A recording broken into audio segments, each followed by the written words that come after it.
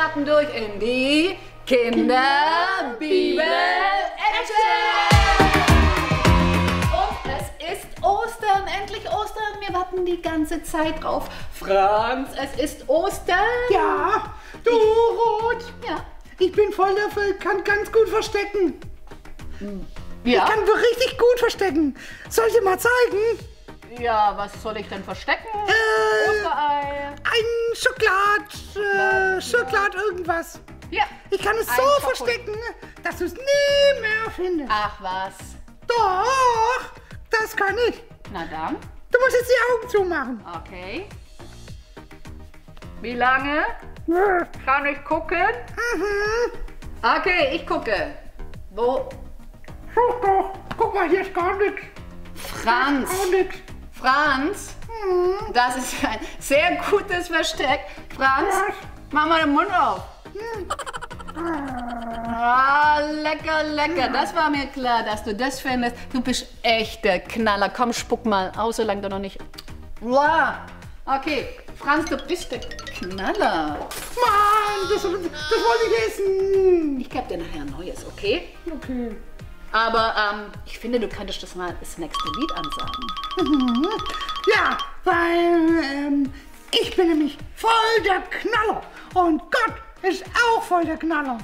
Und deswegen singen wir jetzt mit Gott soll leben. Das ist der Knaller. Da oben, da, da, da, da ist das der Link. Und ihr könnt auf Pause klicken und dann singen wir das jetzt.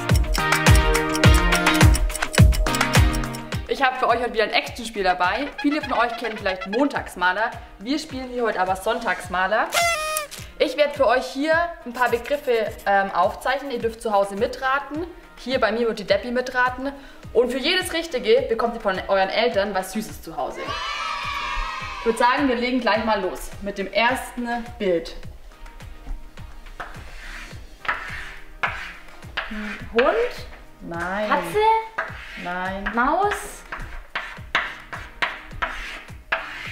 Ah, Hase. Richtig, Hase. Ich hoffe, ihr habt es auch erraten. Das ist ein Hase. Ich bin mir sicher, viele von euch können es schöner zeichnen als ich. Okay, Begriff Nummer zwei.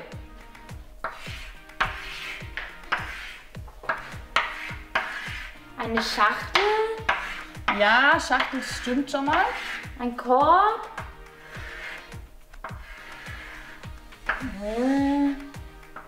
Ah, ein, ein Osternest. Richtig, ein Osternest. Und jetzt habe ich noch einen dritten Begriff für euch. Passt gut auf. Wiese, Wiese, Wiese, Wiese, Wiese. Ja, wie ist der, aber es ist nicht das Richtige. Feld. Äh, Baum, Blume. Ja, Blume, Blumenwiese stimmt schon mal. Blumenwiese. Ja, aber wann gibt es eine Blumenwiese? Im Sommer? Im Sommer? Gibt es im Sommer nicht einen? Wann noch? Ah, ah, Frühling, Richtig. Frühling. Ich hoffe, ihr habt zu Hause auch richtig geraten und wenn ihr alle drei richtig habt, dann geht zu euren Eltern und verlangt eine Schokolade von denen. Und so wie ich jetzt hier Bilder gemalt habe, hab, hat auch heute die Hut für euch wieder was vorbereitet. Sie hat ganz viele Bilder gemalt, wo sie euch heute eine bi- biblische Geschichte erzählt. Wir haben tatsächlich die Bilder von der biblischen Geschichte gemalt und ich glaube, das erste Bild, das kennt ihr gut. Das Kreuz von Jesus. An dem musste er sterben.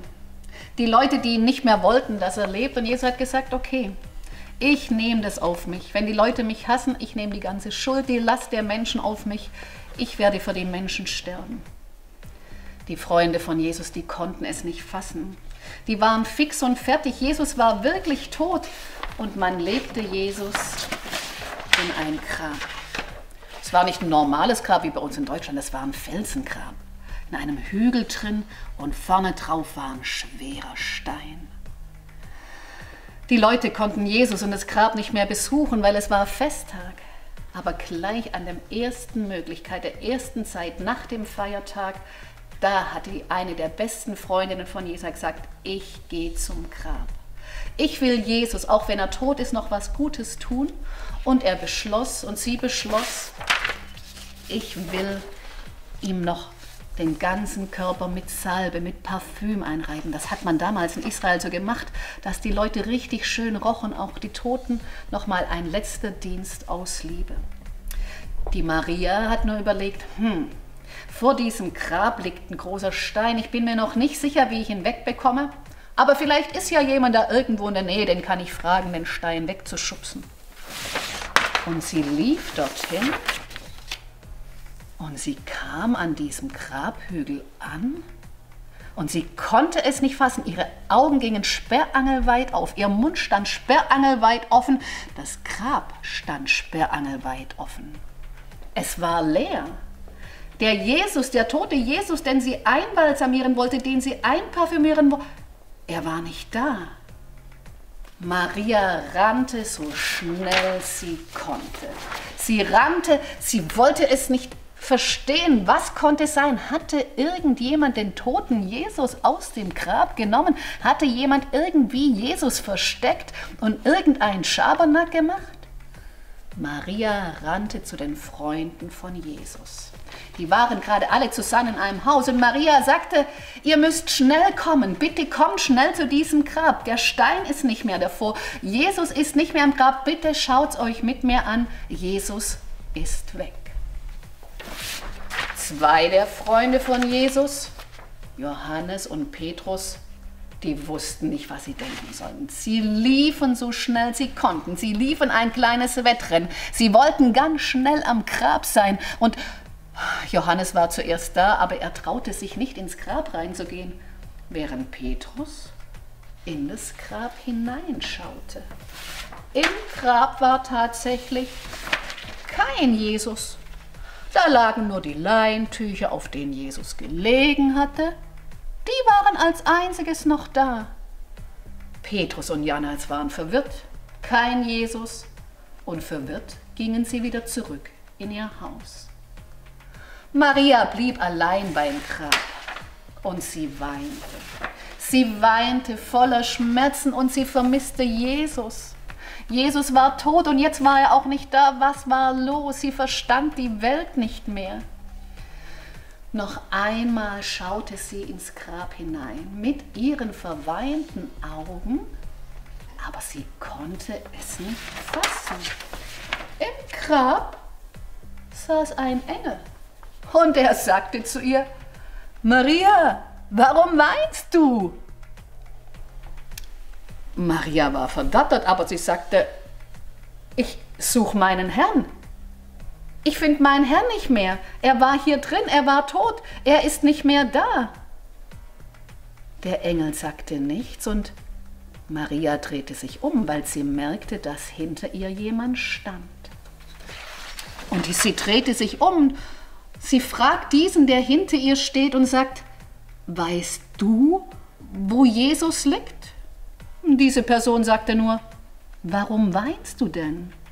Sie sagte, na, weil Jesus, mein Herr, nicht mehr lebt und er lag in diesem Grab und er ist nicht mehr da. Jesus, mein lieber Jesus. Und in diesem Moment fängt diese Person an mit Sprechen. Sie sagt, Maria. In diesem Moment, wo diese Person Maria sagt, merkt Maria, das ist Jesus. Dieser Mensch, es war nicht der Gärtner, es war nicht irgendjemand, es war ihr lieber Jesus. Er lebte. Jesus war nicht mehr tot, er war nicht irgendwo versteckt unter Leintüchern. Er lebte. Er liebte, er war wieder da. Maria konnte es nicht fassen. Sie streckte ihre Hände nach Jesus aus und wollte ihn berühren, betasten, wollte ihn festhalten. Aber Jesus sagt zu ihr, Maria, halte mich nicht fest. Geh zu den Jüngern, geh zu meinen Freunden, sage ihnen, dass ich wieder lebe. Ich bin nicht tot. Gott hat mich auferweckt. Ich bin stärker als der Tod und ich werde meine Freunde treffen. Maria rannte so schnell sie konnte. Diese Freudenbotschaft, die wollte sie zu den Freunden bringen, zu den Jüngern, die wollte sie durch ganz Jerusalem rufen. Jesus lebt. Die Freude, die puckerte in ihrem Herz, die war riesengroß.